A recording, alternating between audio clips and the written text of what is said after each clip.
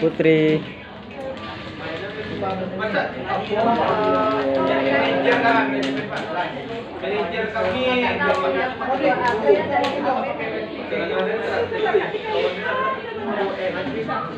Dapat ah, 200, ada dapat 200, 700. Assalamualaikum warahmatullahi wabarakatuh. Hi guys, how are you? I have you a friend. I would like to introduce myself. My name is Muhammad Yusuf. You can call me Yusuf. I'm from University Lancang Kuning, Pekanbaru City. Okay, this time about economic growth in Indonesia. Guys, what do you think about economic growth in Indonesia?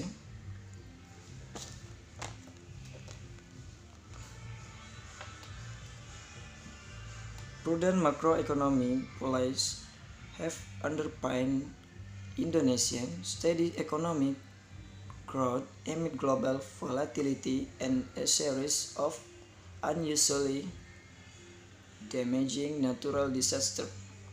According to the World Bank June 2019 Indonesian Economic Quarterly released today.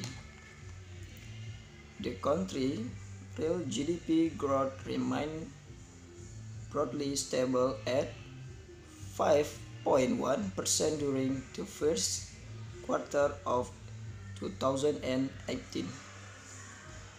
Despite global volatility, Indonesian economic has grown at a consistent pace with quarterly GDP growth remaining between 4.9 to 5.3 percent over the past 3.5 years. Indonesia prudent economic management has paid off.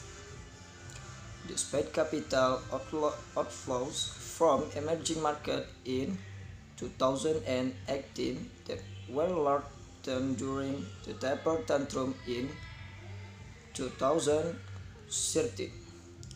Indonesian economic remains strong, which helped reduce poverty to a rate